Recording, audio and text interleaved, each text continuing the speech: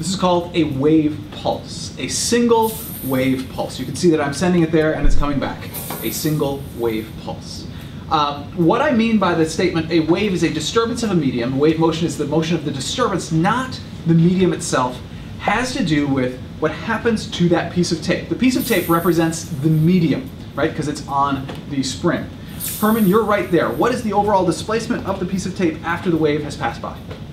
Zero. So notice that the medium actually returns to its original state after the wave has passed by.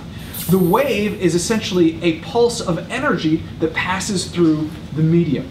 In the end, the medium comes back to where it was to begin with. So notice that wave motion is a motion of the disturbance of the medium, not the medium itself. That's what that means, because the medium comes back to where it was to begin with. So notice the tape comes right back.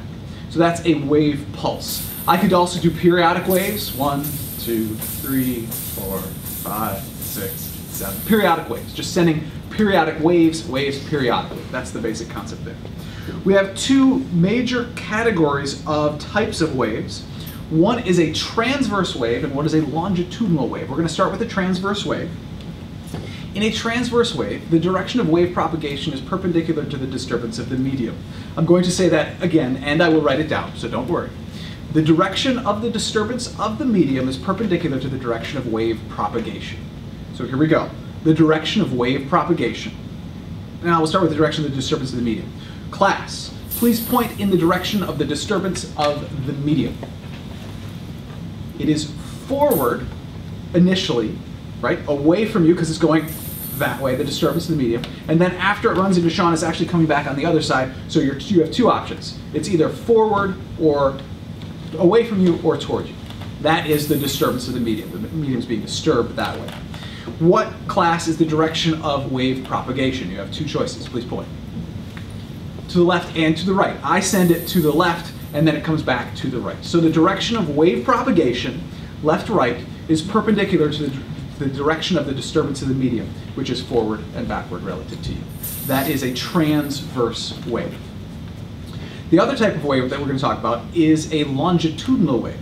All the words are the same, except I change perpendicular to parallel.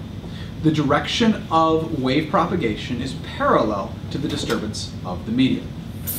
So how do I create a longitudinal wave where the direction of wave propagation is in the same direction, parallel to the disturbance of the medium? Kozak? You go up. I lift it up. Sean, careful. I do this. Unfortunately, that is still a transverse wave because the direction of wave propagation is still left-right, and the disturbance of the medium is up, which is still perpendicular. Herman, Push it forward. I could push it forward. It's harder to do it that way. I could do the reverse of just grab and pull, right? So what I'm doing here is I've created a disturbance of the medium which is parallel to the direction of wave propagation. So if I do this and let go of it, we have what is called a longitudinal wave. Great.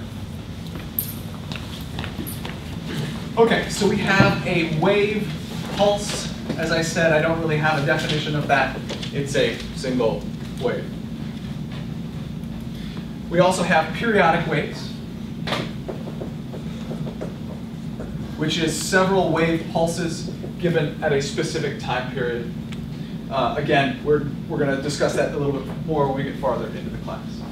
Now, we have the transverse wave. And this one is where the, the direction of wave propagation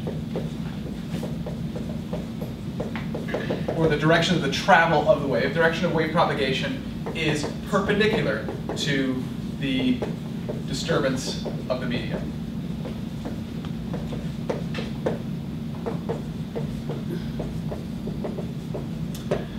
A longitudinal wave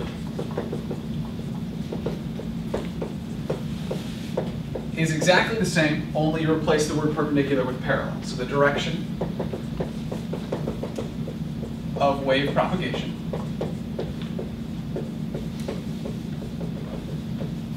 is parallel to the direction, I'm sorry, the disturbance of the medium.